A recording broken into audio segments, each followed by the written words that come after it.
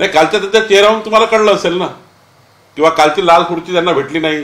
किंवा ज्या ज्या ज्या पद्धतीने राष्ट्रवादी आणि काँग्रेसचा अपमान झाला काल. संजय असताना संजय शिरसाट म्हणाले की अशोक चव्हाण भाजपमध्ये प्रवेश करणार.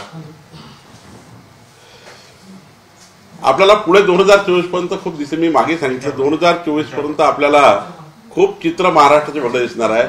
हे बोलण्याचे तिकडं वेगळं आहे वेगळं करण्याचं वेगळं आहे.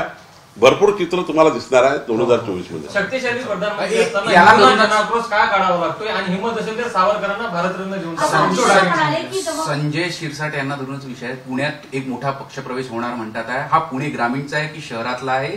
आणि अं, ठाकरे गटाचा एक व्यक्ती येणार आहे असं आपण बोललेले आहे कारण की आणि ग्रामीण ठाकरे गटातले जे येतात आहे आमच्याकडे ते मोठा आहे की छोटा याला अर्थ नाहीये. त्यांच्याकडली सेना शिल्लक होते. असं जरुरी नाही की मोठा पक्षप्रवेश झाला तर मोठा असतो. कधी कधी छोटा कार्यकर्ताही दमबाज असतो. आणि त्यामुळे मोठा आहे की छोटा आहे याच्यापर्यंत नाही जाऊ. त्यांचे लोक त्याला सोडून चालले का तर सोडून चालले आहे. एकनाथ शिंदेजीकडे रोज चालले आहेत. आमच्याकडे रोज येतात आहे. आणि त्यामुळे ती सेना शिल्लक शिल्लक शिल्लक शिल्लक किंचित झाली आता. पुढच्या काळात किंचित सेना होणार आहे. त्यामुळं त्या भीतीने उद्धव ठाकरे बोमाबोम करताय.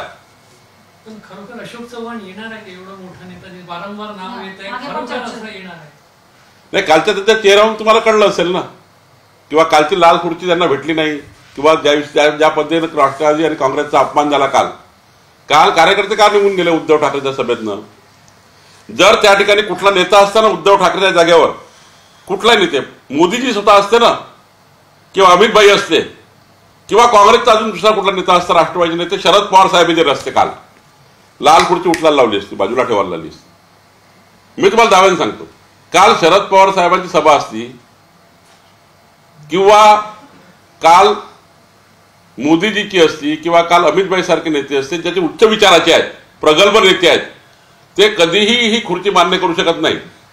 तुम्ही बघा देवेंद्रजी कधी जातात तेव्हा सारख्या खुर्चीवर बसतात. अमितभाई येतात सारख्या खुर्चीवर बसतात.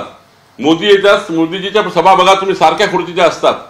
म्हणजे बावनकुळे ज्या खुर्चीवर आहे त्या खुर्चीवर आमचे मोठे नेते बसतात. कारण असं आहे की आमचा छोटा कार्यकर्ता जरी असेल ज्या खुर्चीवर त्या खुर्चीवर आमचे नेते बसतात.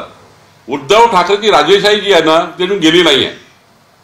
तो जो राजेशाही बाणाने इतकं नुकसान झालं इतके लोक चालले गेले आता राहिलेले लोक चालले जातील. आणि काल बघा कालच्या सभेतनं तर लोक पळायला लागले. तुम्ही गेटचे चिन्ह गेटचं जर कुणी काल केलं असेल तर राष्ट्रवादी काँग्रेस काँग्रेसचे लोक निघून चालले होते.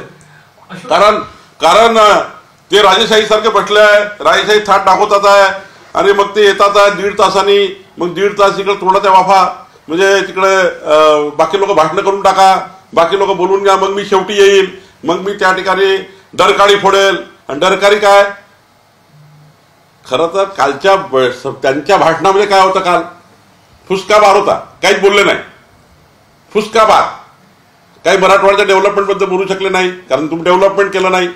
तुम्ही काही महाराष्ट्राबद्दल बोलू शकले नाही. नुसते दिवसभर मोदीजी अमित भाई हे केलं ते केलं. आता महाराष्ट्राच्या जनतेला याचा इंटरेस्ट नाही आहे.